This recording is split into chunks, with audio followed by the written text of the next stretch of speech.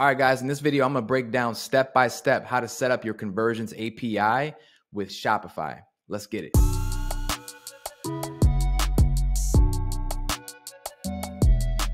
All right, so before we get into the setup, let's talk a little bit about why the conversions API is so important, okay? So if you've been doing online marketing for a little while or even recently, you probably know what the Facebook Pixel is. If you don't know what the Facebook Pixel is, comment below, maybe we'll make a video explaining that. I don't know. But us marketers, we have really relied on the Facebook Pixel to be able to tell us how our ads are performing, right?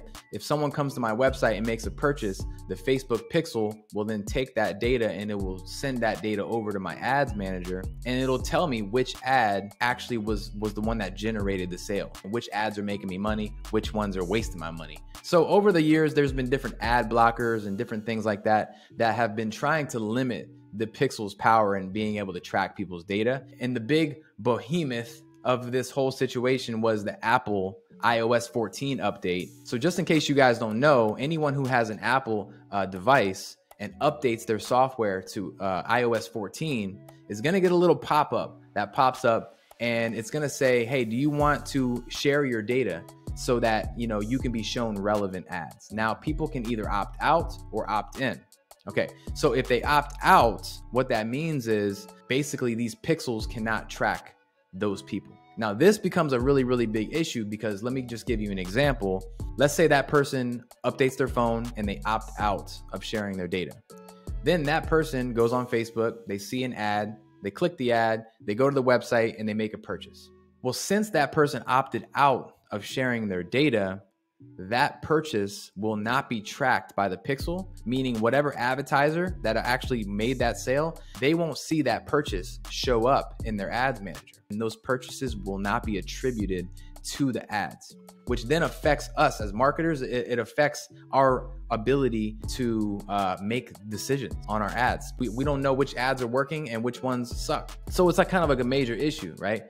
This is why the conversion API is so important. The conversion API is basically another way for us to track data, but the difference is this is actually tracking the data from the server side, right? So it literally tracks the data from Shopify's server and it bypasses all third party uh, softwares and applications like Pixels. So, regardless if someone opts out of sharing their data or not, if they go on and they make a purchase on that website, the conversion API will track that data and send that data back to Facebook so that we always know where that purchase came from, even if that person opted out which is super dope. Just FYI, at the time of this recording, the conversion API is only tracking purchases. It's not tracking each step of the funnel like view content, add to cart, initiate checkout. It's only tracking the conversions, the purchases. So that's all we have to work with right now. But hey, I'll take it. It's better than not knowing where the hell the purchases are coming from. You know what I mean? So I hope that makes sense. And if you guys have any questions about that,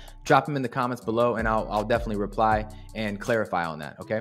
With that being said, let's get right into it. Let me go ahead and show you exactly how to set this up, your conversions API with a Shopify store. Let's get into it. All right. So you're to go ahead and log into your Shopify dashboard. When you get there, go ahead and click online store and then go down to preferences. When you get to preferences, you're want to scroll down so you see um, setup Facebook. All right. And then it's to take you to your Facebook setup. All right. So what you're to do is you just want to verify that you have the correct Facebook account. Make sure that you're connecting the correct ad account that you're running your ads from. And then you're also going to um, verify the, the right Facebook page and all that good stuff. When you get done doing that, click this little thing that says data sharing. And then basically, this is going to allow you to choose the sharing options, right? So you have three different options you have standard, enhanced, and maximum. What we want to do is choose maximum. And if you read right below here, what it says is this option uses Conversions API, which shares data directly from Shopify servers to Facebook. And this means that data can't be blocked by ad blockers. All right, so this is the option that you're going to want to choose and then you basically come down here. You want to double check that you have the right pixel attached as well. I always go by the last four digits of the pixel ID, and then come down here and and put in the target country, um, whatever applies to you. We're going to go ahead and select United States, and then once you get done with that, you'll go ahead and hit accept and finish setup, and this part will be done. All right, so now this will basically just pop up and go ahead and hit, just hit got it. All right, so when you've completed this part, you've completed step one. Now you're gonna go over to Facebook for step two. All right, so when you get done setting up all the Shopify side, uh, what you're gonna wanna do is go to your Facebook Business Manager. You can get there by going to business.facebook.com forward slash events manager like this, or just go to your business manager, click on the all tools, and then just click events manager right here. This will take you to the page where all of your pixel information is, okay? Once you get here, you're going to see all of the pixels that you have right here. What you're going to want to do is select the pixel that you have attached to your website. Once you select that pixel, I want you to scroll over on the right hand side and go to settings. Now, when you go to settings, you're going to scroll down all the way down until you see advanced matching. And you're going to want to make sure that this is toggled on. What that's going to do is it's going to be able to track um, people more accurately with more detail. So it's it's going to get you better results with your Facebook um, pixel. And when you toggle this on, you can go ahead and hit show options. And this will give you all the different uh, parameters that you can track, basically, right? Different ways that you can match people. Um, and I personally just like to put all of them on. And the reason why is because I, I, want the I want the Pixel to know as much as it possibly can about my audience, so it can make the best decisions um, moving forward, right? Basically, I'm going to make my pixel super smart and it's going to know exactly who to go after because the, this advanced matching is on. Okay. Once this is done, come back up here and then go back to overview. So, what you're going to notice now that you set up your data sharing for maximum inside of Shopify, now that that option is selected, what you're going to be able to do is scroll down to your different pixel events. And when you come down to purchases, you're going to see now where it says browser, and now it's also going to say server as well. So if you see the server, that that means that the conversions API is set up properly and you are tracking events from the server side.